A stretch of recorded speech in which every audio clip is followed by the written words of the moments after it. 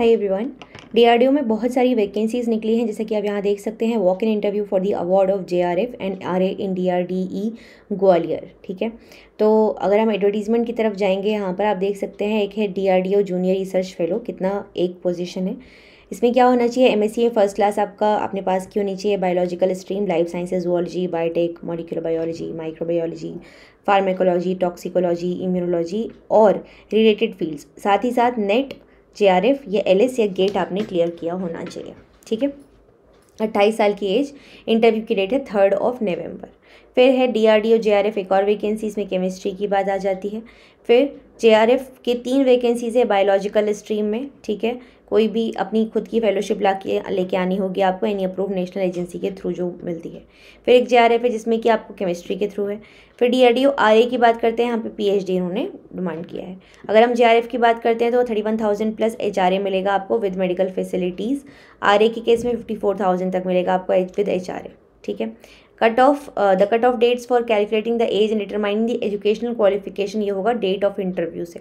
As limit जो है वो पाँच एस सी के लिए पाँच साल रिलैक्सेशन है, तीन साल ओ बी सी के लिए and for other category as per D O D D R D O policy essential education qualification P H D या पी एम एस सी होना चाहिए with first division depending upon ये। और एक कोई exam clear को किया होना चाहिए नेट या C S I NET J R F या L S GATE DBT ICMR कोई भी अप्रूव्ड एजेंसी के द्वारा द्वारा जो किया जाता है या फिर GATE as specified above against respective vacancies सिर्फ़ वो कैंडिडेट्स जो जिन्हों की को की जो डिग्री है, वो मिल चुकी है professional certificates are eligible to apply कुछ गाइडलाइंस यहाँ पर दी हुई हैं जे आर एफ़ टेन्योर पाँच साल का होगा, और पहले शुरू में जे आर एफ़ की तरह काम करेंगे, उसके बाद एस आर एफ़ की तरह उनको अपग्रेड कर दिया जाएगा।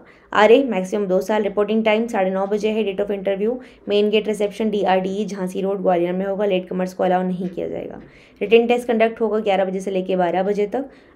And only the qualified candidates only will be interviewed on the same date depending upon the number of candidates अगर बहुत ज़्यादा बच्चे आ जाते हैं तो इंटरव्यू जो होगा वो नेक्स्ट डे पे होगा so candidates are requested to prepare accordingly application form जो हैं, वो आप इस लिंक से डाउनलोड कर सकते हैं। I will share the link in the description box make sure you have subscribe to the channel till now अगर आपने सब्सक्राइब नहीं किया है तो मेक श्योर sure आपने सब्सक्राइब कर लीजिए चैनल को और लाइक कीजिए वीडियोज़ को अगर आपको पसंद आती हैं. So if you want this this form of updations from me from my side on this channel let me know in the comment section as well ठीक है? इसके अलावा and submitted online at least on to mail I D candidate जिनको भी participate करना है, वो अपना एप्लीकेशन फॉर्म भर सकते हैं, भेज सकते हैं, कहाँ पर इस पर्टिकुलर मेल आईडी पर आपको दी हुई हैं। Form needed to be submitted in both Word file and Microsoft Excel file as per the required format दोनों फॉर्मेट में आपको यहाँ पर भेजना है। ठीक है, कैसे पहुँचना है, ये आपको यहाँ पर मैंशन कर दिया गया है। लिंक्स मैं सारे आपको डिस्क्रिप्शन बॉक्स में दे दूँगी, आप डायरेक्टली वहाँ जाकर सब चीज़ें देख सकते हैं। This is all about the particular video guys will see on the next video make sure you have subscribed to the channel. Take care, everyone. Bye